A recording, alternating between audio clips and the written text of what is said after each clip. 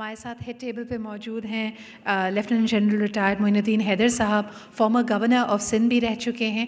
आपसे मेरी गुजारिश होगी sir if they can be a short statement of जो आपकी अंडरस्टैंडिंग है इस शहर के मसाइल और इस स्नैपशॉट इन टाइम पे कि इस वक्त हम किस क्रॉस रोड्स पे खड़े हैं और हम आगे कैसे बढ़ सकते हैं। अगर आप वहीं से कुछ, कोई बात कहना चाहें?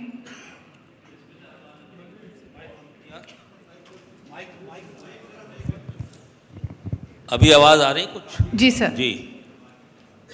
सेकेंड वर्ल्ड वॉर में जर्मनी पे बेनतहा बमबारी हुई। बर्लिन तबाह हो गया। लेकिन शहर के जो तहखाने थे बेसमेंट्स में थे उसमें रेस्टोरेंट्स भी चलते रहे उसमें म्यूज़िक के कंसर्ट भी होते रहे कैबरे भी होता रहा। हालाँकि बेनतहा बमबारी थी। और जब जर्मन फौजों ने पेरिस का घेराव कर लिया। पैंतीस दिन में उन्हें पूरे फ्रांस को फतह कर लिया था। तो पेरिस पर जब हुए तो पेरिस में उन्होंने फैसला किया कि हम यहाँ से विड्रॉ करते हैं अपनी फ़ौजों को। हम इस शहर में जंग नहीं करेंगे ताकि हमारा शहर तबाहकारी से बच जाए। उन्हें इस तरीके से अपने शहर को बचा लिया। अपने शहर से मोहब्बत करते थे। कौन आदमी ऐसा है जो एक बहुत ज़रूरी सरमाए को, वो कहे कि मैं इसको फ़िलहाल छोड़ता हूँ, मैं इसकी आखिरी कतरे तक खून की वो जो कहते हैं हम जंग करेंगे, वो उन्होंने नहीं की। तो लोगों को शहर से जो मोहब्बत होती है, वो उसको रवा दवा रखते हैं। कोई आदमी क्यों किसी शहर में जाता है? आप में से बहुत लोग, माशाल्लाह, छुट्टियाँ मनाते हैं। किसी को लंदन पसंद है तो किसी को पेरिस पसंद है तो किसी को बैंकॉक पसंद है? पूछो भाई, क्यों पसंद है? किसी को वहाँ की हिस्ट्री, किसी को बिल्डिंग्स, किसी को उसकी कॉस्मोपोलिटन ओपन टाइप का जो एनवायरनमेंट है, वो पसंद होता है। अब कोई कराची आना चाहेगा तो क्यों आना चाहेगा? What have you to offer हमारे पास क्या है उसको ऑफ़र करने के लिए? दूसरी बात है, कोई मेहमान आपके घर में आ रहा हो, रिश्तेदार आ रहे हो, दोस्त आ रहे हों तो आप कोशिश करते हैं अपने घर में सफ़ाई करें। उसे कोई इज़्ज़त की जगह से बैठाएँ, उसके लिए कोई चाय पानी के खाने का बंदोबस्त करें।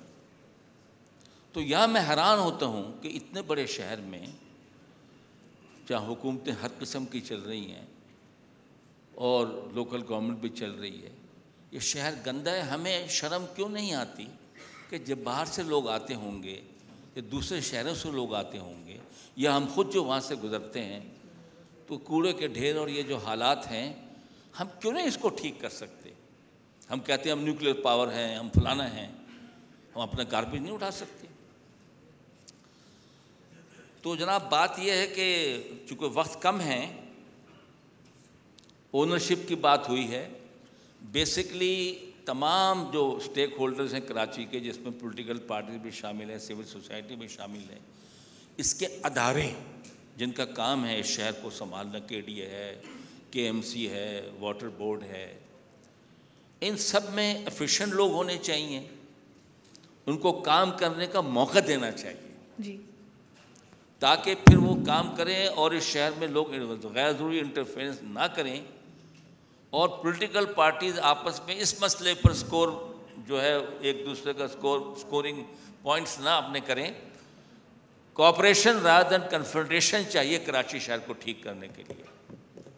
लेकिन जिस तरह भी मैं देख रहा हूँ कि मुझे ये जिम खाने से लेकर यहाँ तक आने में पौना घंटा लगा है होटल में घुसने के लिए, क्योंकि गाड़ियाँ खड़ी हैं सड़क पर, तमाम ये डी एस और टोटल ट्रैफ़िक जैम है।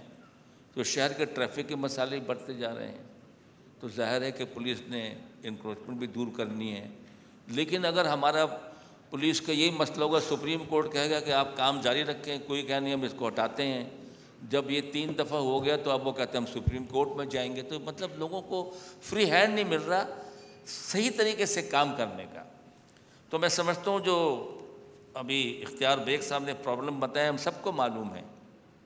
और मैं ये कहता हूँ कि सबसे बड़ा शहर जो है पाकिस्तान का ये है, यहाँ पर मैस ट्रांजिट नहीं है। इस्लामाबाद में मेरे ख्याल से इतनी ज़रूरत नहीं थी, मेट्रो की, ना मुल्तान में थी।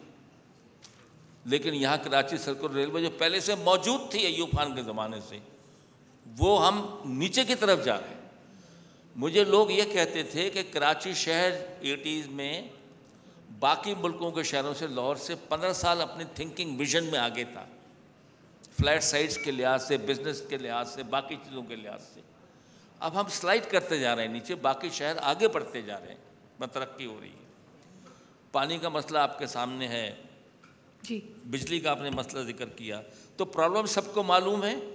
मेरे ख्याल में हमको एक एम्पावर्ड लोकल गवर्नमेंट होनी चाहिए। राइट उनको फिनांसिस भी दें उनको पावर्स भी दें और वो हिम्मत करें शहर को संभालने की। हम सबके साथ हैं। बहुत शुक्रिया। बहुत बहुत शुक्रिया मोइनुद्दीन हैदर साहब। अब मैं यहाँ पे दावत देना चाहूँगी the last speaker of our evening and hopefully after his address we are definitely going to be taking questions हमारी उम्मीद होगी कि आपके जो क्वेश्चंस हों, वो बाकायदा सवालात हों, मिनी तकरीर ना हो, मिनी स्टेटमेंट ना हो, और अगर आप आइडेंटिफाई कर सकेंगे ये सवाल आपका खसूसी तौर पे पैनल में किससे है तो दैट वुड बी ग्रेट लेकिन